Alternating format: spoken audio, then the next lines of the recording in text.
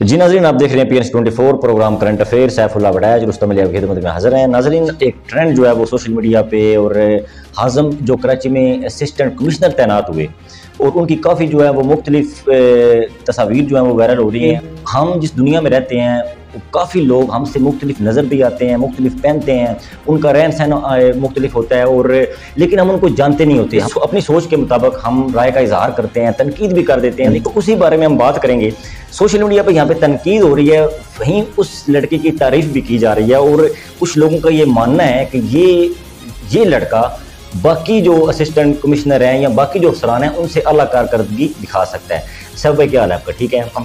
सैफ भाई मालूम लिया उनका स्टेटस क्या है? तो उस पर मैं चाहूँगा आप रोशनी डालें ताकि अवाम को जो है वो पता चल सके कि वो असल में उनका स्टेटस है क्या या वो इस अहदे के लिए जिनको उन पर तनकीद की जा रही है कब ऐसे लोग तैनात किए जाएँगे मुख्तलिफ़ अपनी सोच के मुताबिक लोग राय का इजहार कर रहे हैं। तो आप क्या कहना चाहेंगे और उस उनका स्टेटस बता दें? मैं ना आपको एक छोटी सी दो मिनट की मिसाल देना चाहूँगा। रुस्तम कहीं ऐसा हुआ कि कहते हैं कि फ्लड आया? तो जो जो मेंढक होता है ना, वो दरिया से निकला और वो मतलब खुशकी भी आया और खुशी भी कुआँ था उसमें गिर गया। अब जो कुएँ में गिरा तो कुएँ में और भी मेंढक थे। तो उन्होंने मेंढकों ने पूछा उससे, दरिया वाले मेंढक से कि तुम किधर से आए हो? तो उसने कहा, मैं दरिया से आया हूँ। तो कोई मेंढक पूछते हैं कि, वो दरिया कितना बड़ा है? तो कहता है, यार, बहुत बड़ा है, मैं तुम्हें मतलब एक्सप्लेन नहीं कर सकता। तो वो मेंढक ने छलांग लगाई कुएँ मारे ने तो कहता है, इतना बड़ा होगा। मिडिल में चला गया कुएँ के। उसने कहा, नहीं, इससे बड़ा है। जब उसने दूसरी छलांग लगाई तो उसका ना सर पड़ा कुएँ की दीवार को। तो कहता है, इससे आगे तो हमें झूठ ही बोलना है कि कुआँ मतलब जो दरिया इससे बड़ा होगा। तो हमारी मिसाल ये है कि हम ना वो कुएँ के मेंढक बने हुए हैं। देखना तो ये चाहिए कि उस बंदे की जॉब डिस्क्रिप्शन क्या है, वो ड्यूटीज़ क्या कर रहा है, और हमें अपना जर्फ वसी करना होगा।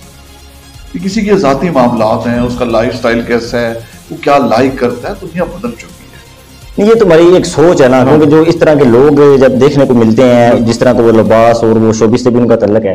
लेकिन मैं चाहूँगा उनके स्टेटस की तरफ़ आ पाए कि वो आवाम को बताएँ कि उन, उनकी उनकी काबिलियत उनकी एजुकेशन उस पर थोड़ा आज़म जो है इंतहाई सिविलाइज बच्चा है वो फॉरन का क्वालिफाइड है। दुनिया की जो टॉप यूनिवर्सिटीज हैं उनका पढ़ा हुआ है। जो सिंगर है वो मतलब और बहुत अच्छा पोइट है वो इंग्लिश में लिखता है। और बहुत अच्छा वो फ़ैशन डिज़ाइनर है, बहुत अच्छा वो मॉडल है। उसमें इतनी जो है वो फैकल्टीज है, इतनी सलाहितें हैं। क्रिएटेड हैं वो, राग से उसकी फैमिली जो आई हुई है। तो हाजम एक इंटरव्यू में बता रहा था, कहता है कि मैं जब पाकिस्तान में हूँ तो लोगों ने मुझे कहा है कि आप इधर ना आए। तो मैंने कहा है कि यार, यहाँ पे ही तो मैं डिलीवर कर सकता हूँ। यहाँ पे इश्यूज़ हैं, यहाँ पे प्रॉब्लम है, यहाँ पे मेरी ज़रूरत है। तो हमें तो उसको सलूट करना चाहिए, उसकी ज़ाती लाइफ को छोड़ देना चाहिए। देखिए, अब आप बैठे हुए हैं हम क्या कर रहे हैं? हमें देखना चाहिए कि क्या हम कोई मतलब है इंतज़ार की तरफ़ लोगों को लेके जा रहे हैं या पॉजिटिव इंटेंट से लगे हुए हैं? यहाँ पे कुछ लोगों की सोशल मीडिया पर राय जो है वो मैंने पढ़ी भी है। तस्वीर भी वायरल हो रही थी। वो किसी बच्चों से वो गुले मिले हुए हैं और दूसरा वो अपना एक्टिविटी काफ़ी एक्टिविटी कर रहे हैं। जैसे आम शहरी एक लोगों में घुल मिल जाता है। जैम करके आया है कोई मज़ाक नहीं है ठीक है? और जो वो काम कर रहा है लोगों के साथ बैठ रहा है घुल मिल रहा है। मैंने देखा है बारिश के दिनों में वो काम कर रहा था। और जो गुरबा की बस्ती हैं उनमें जाके वो काम कर रहे हैं और इंतहाई बुलाइट है। हमने ये सोच रहे हैं कि क्या हमें कोई वडेरा चाहिए कोई जागीरदार चाहिए किसी ए, मतलब फ़रौन नवाज़ शख्स का बेटा चाहिए जो हमसे सलाम ना ले। हम उसको मानेंगे। ये तो हमारी गुलामी की जो सोच है कि हमारा अगर कोई जो है ऑफिसर अच्छा आ गया है तो ये शो कर रहा है कि हमारी गुलामी की रुस्तम सोच है। हम उससे कहते हैं जो हमसे सलाम ना ले जो हमसे हंस के बोल रहा है जो हमारे दुख दर्द बांट रहे हैं। हम, आप और मैं काम कर रहे हैं तो हमें तो प्रोफेशनल काम को देखना चाहिए। बाकी आपके मामला क्या है, आपकी सोच क्या है, वो तो आपकी अपनी है। जी नाजरीन प्रोग्राम का जो वक्त खत्म हो रहा है तो यहाँ पे मेन बात यही है कि हमें वो जो बंदा है, वो काम क्या करेगा, कारकर्दगी उसकी क्या होगी, उसकी काबिलियत क्या है।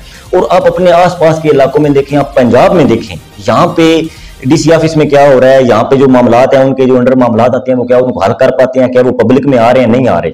तो हमें बाकी अवाम की भी, काफ़ी अवाम की ये राय है कि वो कुर्सी पे बैठ के अपना रोब अफसराना रोब जो झाड़ रहे हैं, उनसे बेहतर वो काम कर सकते हैं।